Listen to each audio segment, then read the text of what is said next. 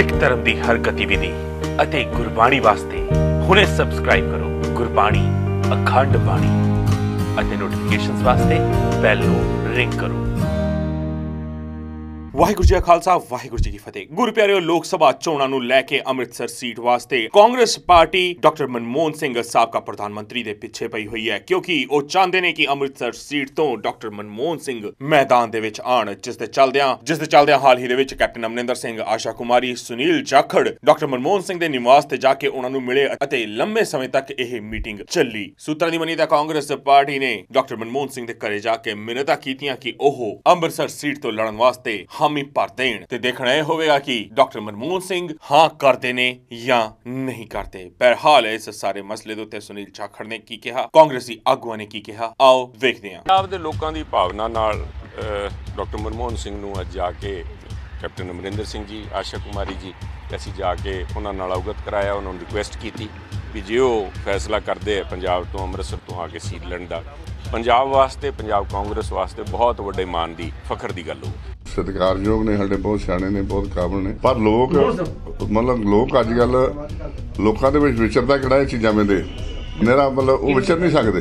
ਮਨਮੋਹਨ ਸਿੰਘ ਜੀ ਤੋਂ ਉਹ ਠੀਕ ਆ ਕਿ ਕਾਗਜ਼ ਪੱਤਰੀ ਕਾਬਲ ਨੇ, ਪੜ੍ਹੇ ਲਿਖੇ ਨੇ, ਹਰ ਚੀਜ਼ ਆ।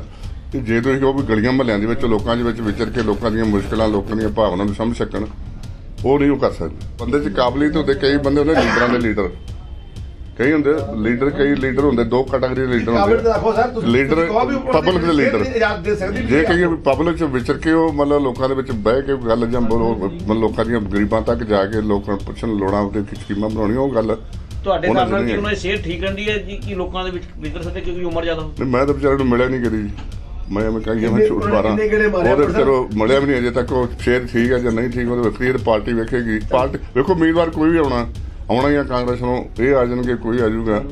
ਉਹ ਕੋਈ ਮਸਲਾ ਨਹੀਂਗਾ ਪਰ ਮੈਂ ਮੈਂ ਤਾਂ ਇਹਨੂੰ ਆ ਵੀ ਉਹ ਵਿਚਾਰਾ ਸਾਰੀ ਉਮਰ ਉਹਨਾਂ ਕਦੀ ਚੋਣ ਨਹੀਂ ਲੜੀ।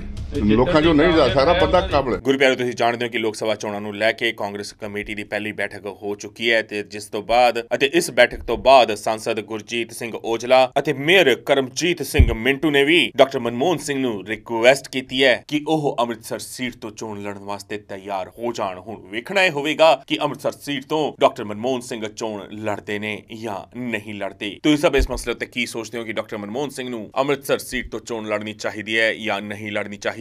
ਆਪਣੇ ਵਿਚਾਰ ਨੀਚੇ ਕਮੈਂਟਸ ਦੇ ਵਿੱਚ ਜ਼ਰੂਰ ਦੇਣਾ ਵੀਡੀਓ ਚੰਗੀ ਲੱਗੀ ਹੋਵੇ ਲਾਈਕ ਤੇ ਸ਼ੇਅਰ ਵੀ ਜ਼ਰੂਰ ਕਰਨਾ ਵਾਹਿਗੁਰੂ ਜੀ ਕਾ ਖਾਲਸਾ ਵਾਹਿਗੁਰੂ ਜੀ ਕੀ ਫਤਿਹ ਸਿੱਖ ਧਰਮ ਦੀ ਹਰ ਗਤੀਵਿਧੀ ਅਤੇ ਗੁਰਬਾਣੀ ਵਾਸਤੇ ਹੁਣੇ ਸਬਸਕ੍ਰਾਈਬ ਕਰੋ ਗੁਰਬਾਣੀ ਅਖੰਡ ਬਾਣੀ ਅਤੇ ਨੋਟੀਫਿਕੇਸ਼ਨਸ ਵਾਸਤੇ ਬੈਲ ਨੂੰ ਰਿੰਗ ਕਰੋ